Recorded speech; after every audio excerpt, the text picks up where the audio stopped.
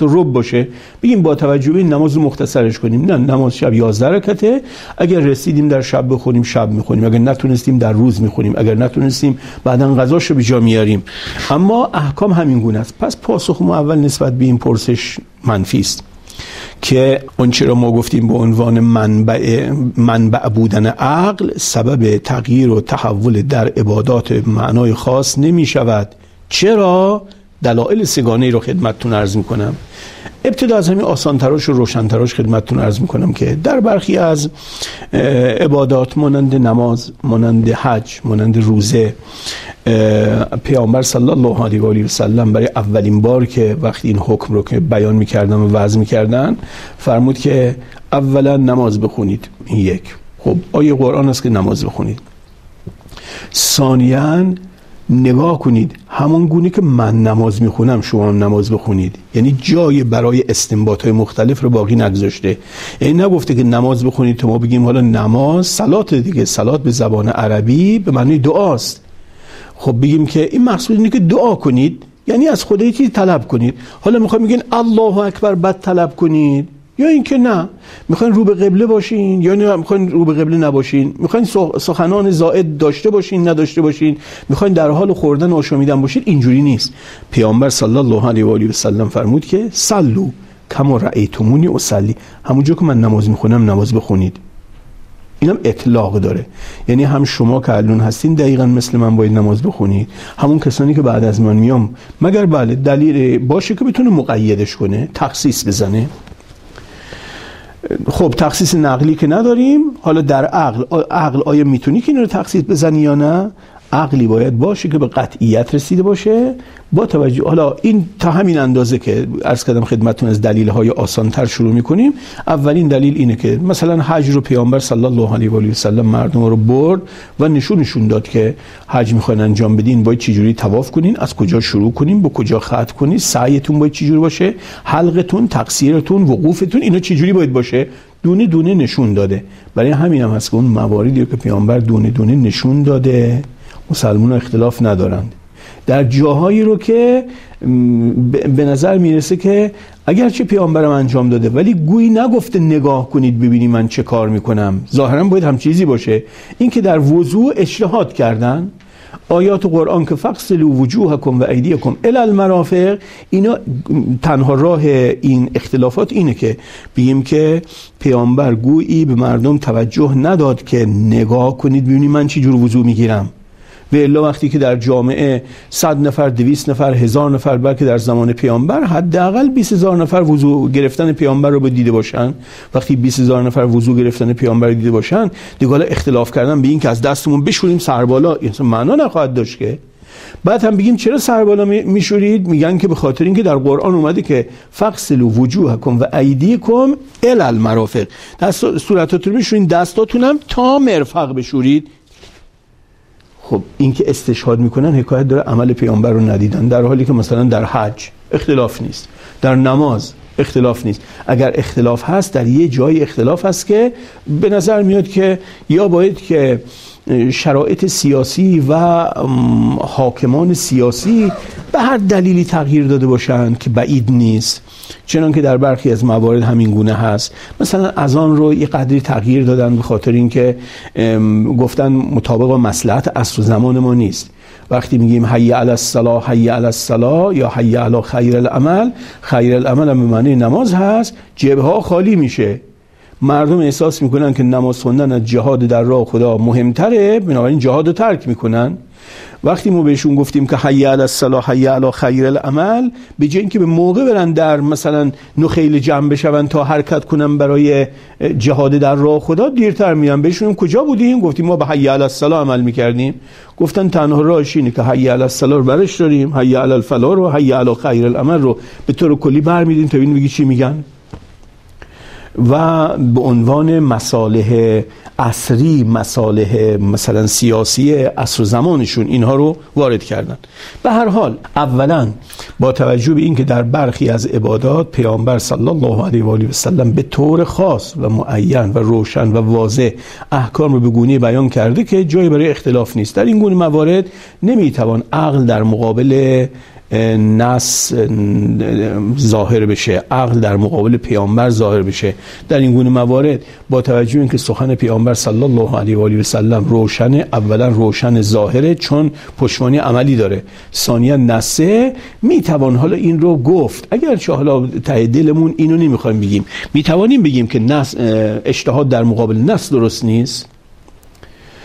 این که بگیم که می‌توان گفت به خاطر اینکه نس یعنی پیامبر. اونم پیامبر هم گفته است هم در عمل نشون داده است.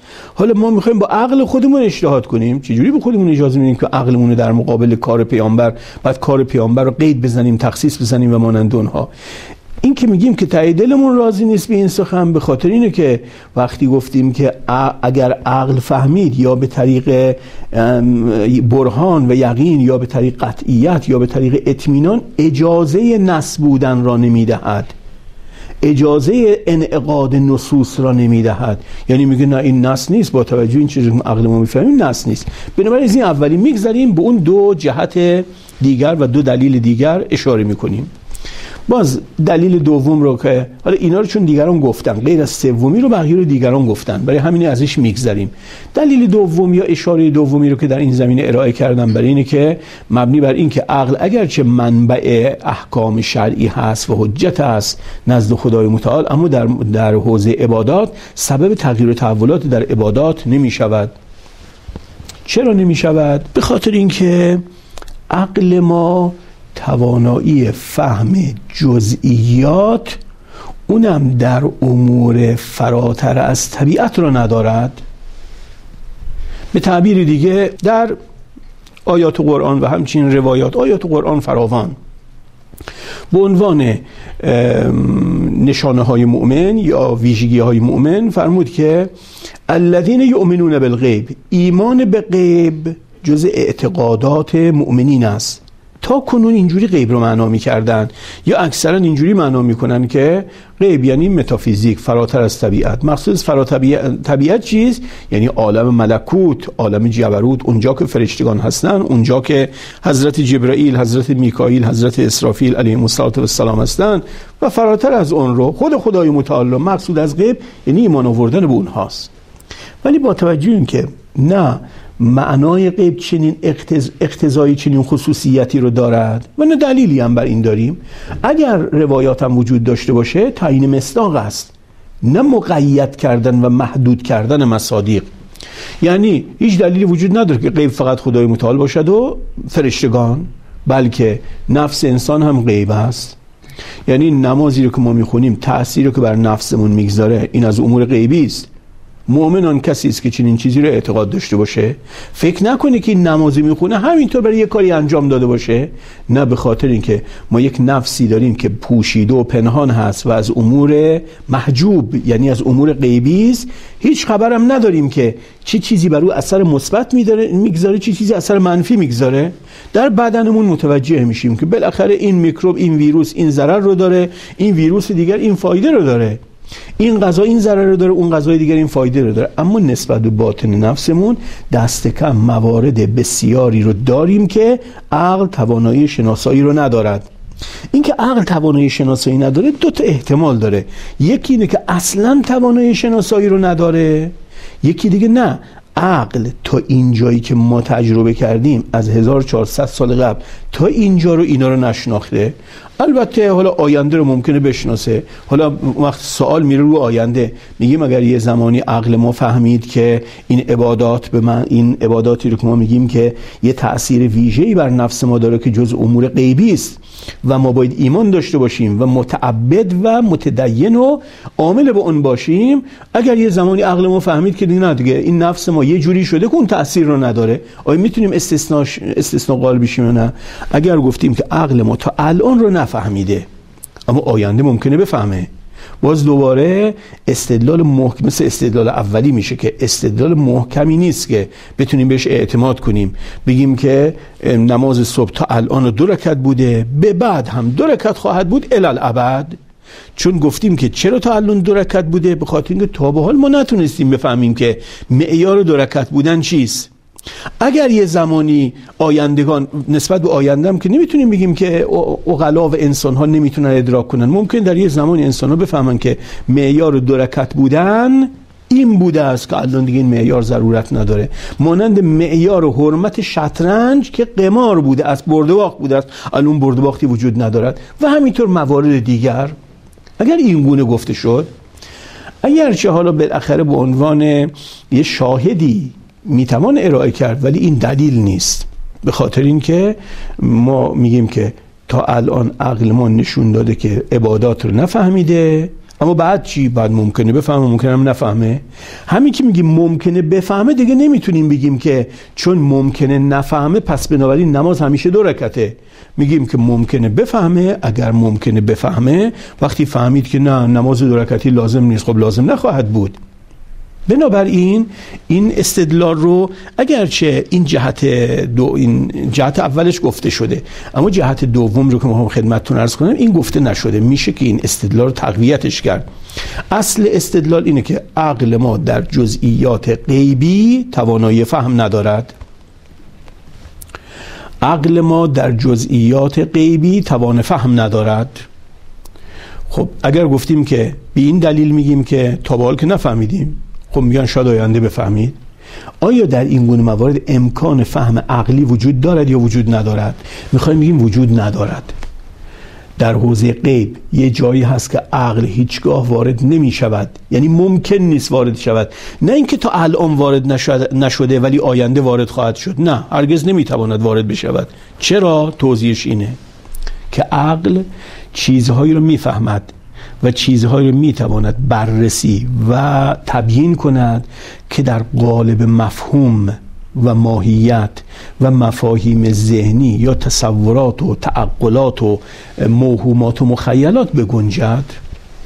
هر چیزی که این قابلیت رو داشت یعنی چیزی است که می‌تونیم تو قالب مفهوم بریزیمش و از طریق ماهی از طریق مفهوم ما تصور ذهنی یا رؤیت عقلی داشته باشیم بعد هم به زبانمون بیاریم و یا اینکه بعد هم به دنبالش عمل کنیم. اگر چنین چیزی بود خب می‌تونه متعلق فهم ما باشد.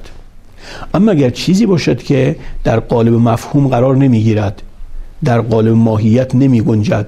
بنابراین هرگز ما شهود عقلی نداریم. یعنی عقل ما هیچگاه نمی تواند آن را شهود کند یا رؤیت کند یا تصور کند. اگر این چنین شد در اینکه چنین مواردی داریم شکی نیست. مثلا خدای متعال. ما تا به حال تصوری از خدای متعال نداشتیم. تصور درستی که ویژه خدای متعال باشد دیگران در اون شریک نباشند. نه از یه تصوری داشته باشیم که مطابق با وجود خدای متعال باشد. مطابق با وجود و اسما و صفات و کمالاتش باشد. چون این تصوری نداشتیم. الان هم نداریم آینده هم نخواهیم داشت. نه اینکه عقل ما کم نداریم آیندگان خواهند داشت. نه. علت این که میگیم آیندگان ندارم به خاطر اینکه خدای متعال حقیقت وجود است که مفهوم پذیر نیست ماهیت دار نیست. در قالب های خیالی و وهمی و عقلی نمی گنجد چون چیزی در این حوزه می گنجد که نوعی محدودیت داشته باشد این یک. دوم حیثیت ابهامی داشته باشد که این ابهام قابل برطرف شدن باشد. حالا یکی از ویژگی های غیب این است که غیب است. اصلا اگر غیب نباشد دیگه نمی‌توان اصطلاح غیب رو بر او ارائه کرد. غیب بودن یعنی مبهم بودن پوشیده و پنهان بودن سر در نیاوردن. اگر چنین چیزی رو گفتیم بعد اون حرفی رو که آغاز گفتیم که عقل انسان جزئیات رو در حوزه عبادات نمی‌تونه تشخیص بده. ممکنه که کلیات رو متوجه بشه چون که نمونه‌ای از فقها رو ارائه کردیم که گفت مثلا وضو گرفتن برای قرآن خوندن مستحب است. عقل میگه این رو. گفتیم کمک گرفتن در وضو یا در نماز یا در مانند اونها این مبتل است. به خاطر اینکه عقل این رو میگه آیا این همینجور می‌تونه سرایت کنه در حوزه هایی که مفهوم پذیر نیست؟ می‌توان این گمان را تقویت کرد که بخشی از عبادات از امور غیبی است. به گونه ای که عقل انسان در مقابل